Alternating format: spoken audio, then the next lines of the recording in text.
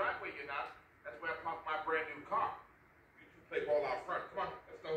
But what if we get a parked car or something? I'll take that risk. But what if we get hit by a car? I'll take that risk too. Now there's straight, man.